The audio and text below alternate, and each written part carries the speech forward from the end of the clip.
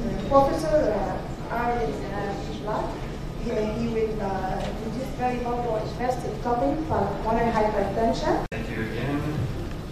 Uh, to talk to you about sheep tomorrow. We're not tired of my sheep yet. This time I want to talk about pulmonary hypertension and a project that we've been working on for quite a while. Uh, one of my last major focuses the last 10 years or so has been the physiology of nitric oxide and metabolism nitric oxide in vivo. Uh, so this plays into that a little bit. I have no disclosures for this one either. Uh, so I'm going to go over a little bit of nitric oxide metabolism, which hopefully is new to some of you. Uh, we'll talk about how we study pulmonary hypertension in the newborn land model, and then how inhaled nitrite uh, may be a potential treatment for pulmonary hypertension. So inhaled nitric oxide gas is kind of the go-to therapy in the United States for pulmonary hypertension in the newborn. I understand it's not available here, um, unfortunately, but the, the idea behind inhaled gas was that uh, it would be selective to the lung. You would get good pulmonary vasodilation because that's the vascular bed that's first hit by the inhaled nitric oxide. And the half-life of nitric oxide is actually very short so that it would be restricted, its effects would be restricted to the lung. Uh, usually you think of nitric oxide and you it's a free radical, you think it's very reactive. Um, it's surprisingly unreactive in oxygenated saline, and just the presence of oxygen has a half-life of about five minutes. In plasma, that drops down to about 20 seconds. In whole blood, it's down to about two milliseconds. So blood and hemoglobin very rapidly scavenges nitric oxide. And uh, so because of that, when you consider that it takes blood about 5 to 15 seconds to get from the lung to the rest of the body, and the half-life of nitric oxide is only 2 milliseconds, you would probably expect that any inhaled nitric oxide is only going to affect the lung. It won't be able to survive the circulation to the systemic vasculature to have effects. But that's not what we uh, learned about the studies with nitric oxide in animals and in humans. We find that it has lots of systemic effects. Uh, when you inhale therapeutic uh, concentrations of nitric oxide, you see increases in brain blood flow, uh, protection of various organs against ischemia reperfusion injury, uh, decreased leukocyte adhesion in the gut. So the question is, how is nitric oxide, which has certainly gone before the blood even leaves the lung, having these systemic effects? And uh, so the first thing you might want to look at is what are the metabolites of nitric oxide that might be able to circulate systemically and have these effects. Sounds simple, right? So you look at what is what are the metabolites of nitric oxide and you come up with papers that have very complicated diagrams like this, which looks to me to be the same as, as this. But I like to simplify things because I'm not that great of a chemist. And if you only look at the compounds on this diagram that have a half-life blood long enough to survive the transit from the lungs to the rest of the body, that narrows it down very significantly. So there's really only nitrate, nitrite, and nitrosothiols. The rest of the nitric oxide containing compounds on this diagram are very short, short-lived, probably don't survive the systemic circulation. So let's focus, for this talk, I'm going to talk mostly about nitrite and nitrate. The conventional thinking for nitric oxide metabolism in the body has been that it's, yes, it's produced from L-arginine by nitric oxide synthase in the endothelium as well as in lots of other types of tissue. And then from there, nitric oxide can be oxidized into nitrite or it can be oxidized into nitrate. And both of these historically have been considered to be relatively inert. They just get excreted in the urine. And this has kind of been considered to be a one-way path uh, towards the elimination of nitric oxide metabolites. But what we've learned over the last 10 or 15 years now is that this is actually not unidirectional. And uh, so for nitrite, nitrate, sorry, your salivary glands take nitrate from the plasma and they concentrate it into the saliva by about tenfold. And there are bacteria in your mouth that reduce the nitrite sorry, reduce the nitrate into nitrite uh, in the oral mucosa, and then you swallow that saliva, which is high in nitrite concentrations.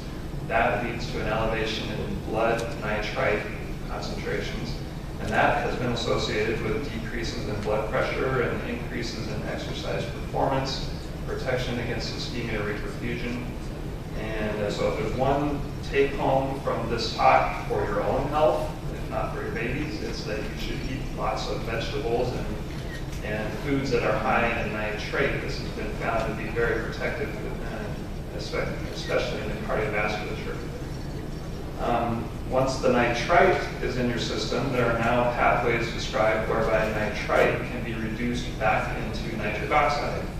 So now we can think about that inhaled nitric oxide, which may have been converted to nitrite in the blood.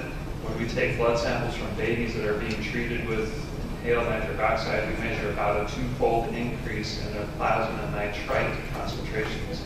And in animal studies, that's enough of an increase to protect against ischemia reperfusions and have blood pressure effects, systemic blood pressure effects.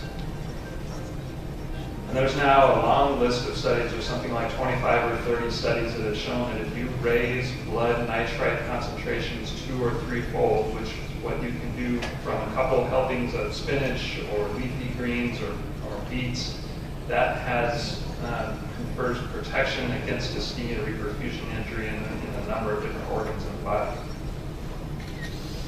So the first interest in this uh, came from uh, realization that there's a reaction that exists for nitrite reacting with deoxyhemoglobin that produces nitric oxide. This was actually described in 1935, back before people even really knew that nitric oxide was important in the body. Uh, but it was kind of pulled out of the archives when they were trying to figure out what are the peripheral effects of nitric oxide, inhaled nitric oxide. And the beauty of this reaction would be that if wherever you have nitrite circulating in the plasma, together with deoxyhemoglobin, that's going to be a tissue where you want to deliver more oxygen to restore the oxygen delivery. You'd be making a vasodilator that could cause vasodilation and kind of help to match oxygen delivery to oxygen need. And so some of the early studies with nitrite showed that if you infuse nitrite into the brachial artery, you get an increase in forearm blood flow. It's dose dependent. Um, there's a lot of uh, other studies that have kind of uh, fit with this hypothesis that deoxyhemoglobin and nitrite may uh, act together to become a vasodilator. So um, those studies that kind of were just being completed when um, myself and another grad student in the lab that I was working with uh, kind of stumbled upon this. And at the time, we were thinking a lot about pulmonary hypertension. And uh, we had a newborn lamb model of pulmonary hypertension. So most of you know that unlike the brain, which I've been talking about in my other two talks today, uh, the brain responds to hypoxia by vasodilating the lung is the opposite. It responds to hypoxia by vasoconstrictor. And we can take newborn lambs and we can put in a Swan-Ganz catheter into the pulmonary artery and flow probe around the pulmonary artery and turn down the FiO2. And when we do that, we get a nice, reproducible, consistent pulmonary hypertension. So each of these gray bars is what happens to the pulmonary artery pressure when we decrease the FiO2. And we can sustain that level of pulmonary hypertension for 30 or 40 minutes. is very reproducible, so it's a nice model of pulmonary hypertension without any significant change in systemic blood pressure. So we had this model, we kind of stumbled upon this nitric oxide research, and we began to wonder, well, what would happen if we inhaled nitrite into the, the lung? It's the uh, pulmonary arteries that have the most deoxygenated blood in the, circula in the circulation. That's going to have plenty of deoxyhemoglobin, especially under hypoxic conditions. And maybe we can stimulate this reaction to produce nitric oxide and cause vasodilation. So we took newborn lambs, three to 10 days old. We anesthetized, uh, ventilated, paralyzed, and we put in brachial artery catheters so that we could draw blood gases and a venous line. Um, put in a femoral arterial line to measure blood pressure and a Swan-Ganz catheter in the pulmonary artery.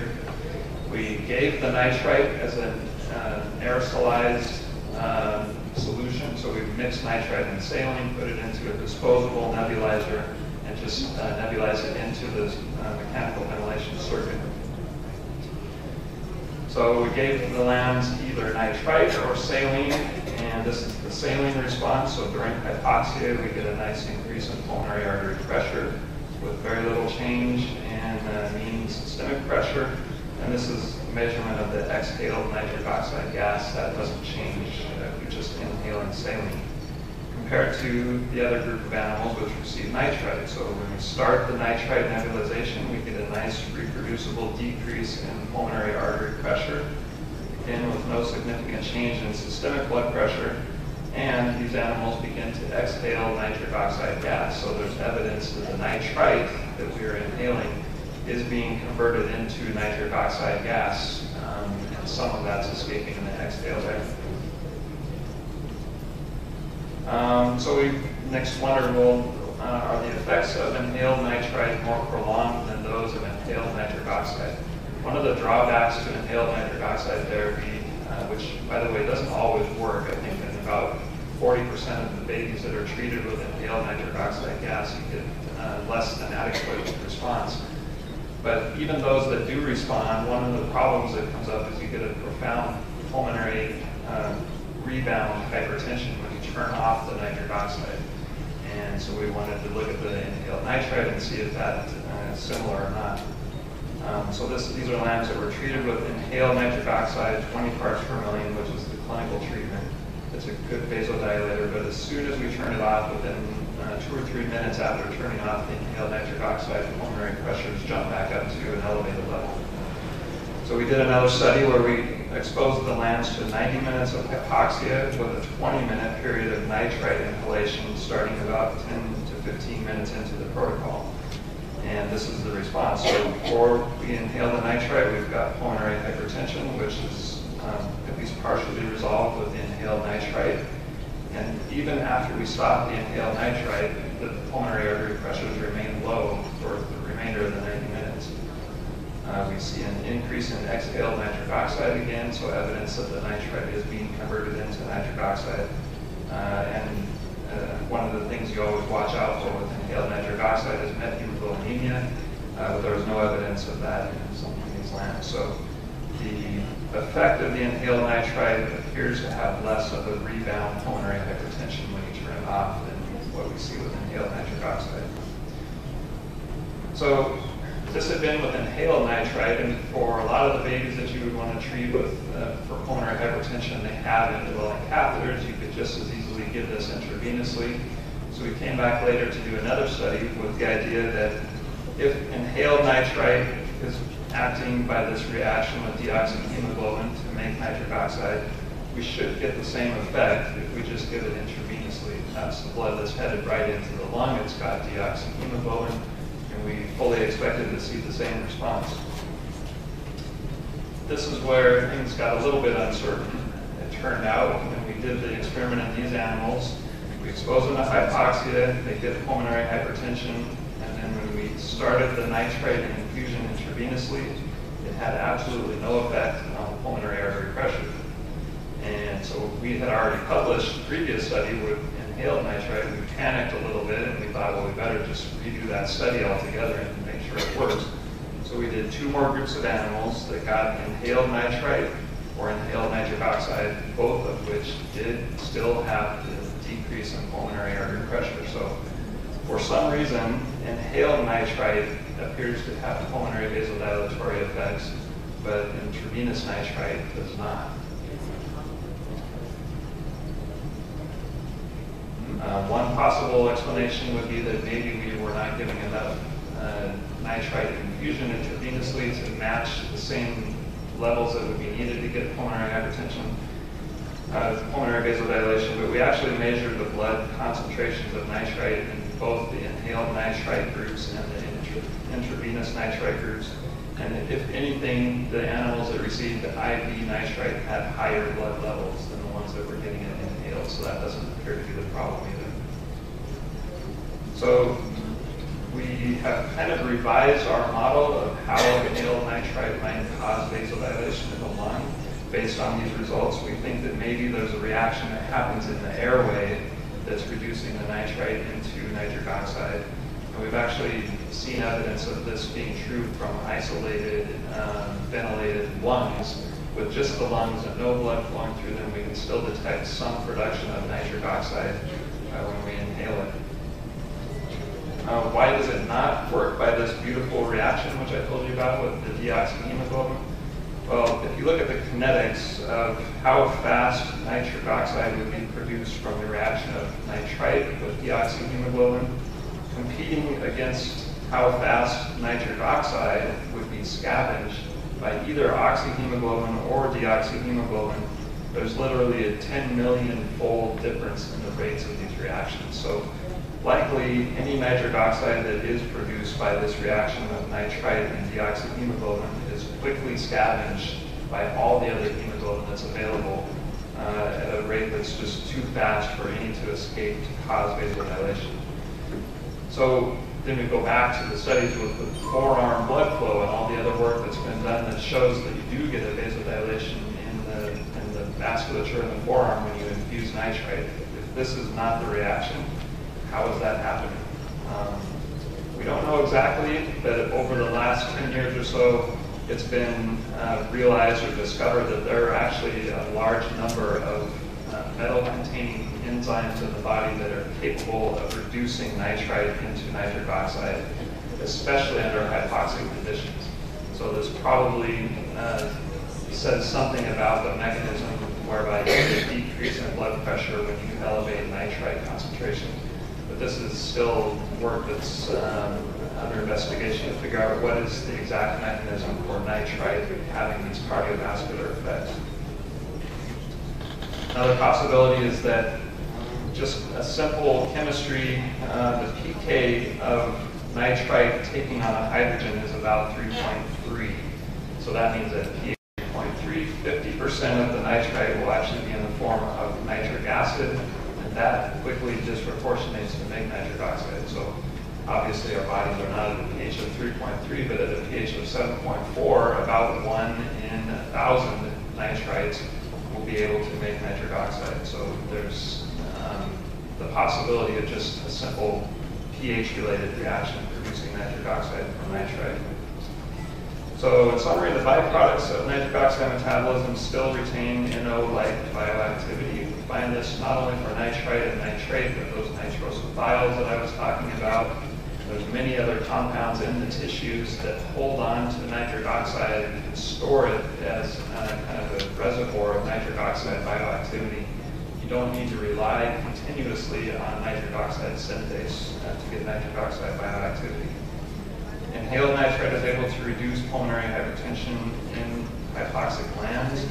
Uh, the status of this idea is that uh, there's a drug company in the U.S. that has started doing clinical studies in adults with inhaled nitrite in uh, adults with sickle cell, uh, pulmonary hypertension related to sickle cell anemia. It's pretty unlikely that this will ever be studied in newborns in a country that can't offer inhaled nitric oxide gas because we don't really have much reason to believe that it's going to be that much, uh, have that much benefit above nitric oxide gas. So we're kind of at a loss of how to ever get this into an NICU in, in the United States. And I understand it's not available here, in nitric oxide, so perhaps that's uh, something that would be worth looking into in Egypt. The mechanism of pulmonary vasodilation uh, that you get from inhaled nitrite does not appear to come from the reaction of nitrite with deoxyhemoglobin. Like I said, there's probably other reactions that happen outside the vasculature. Um, again, a large group of people contributed to this work, and thank you for your attention. Thank you very much.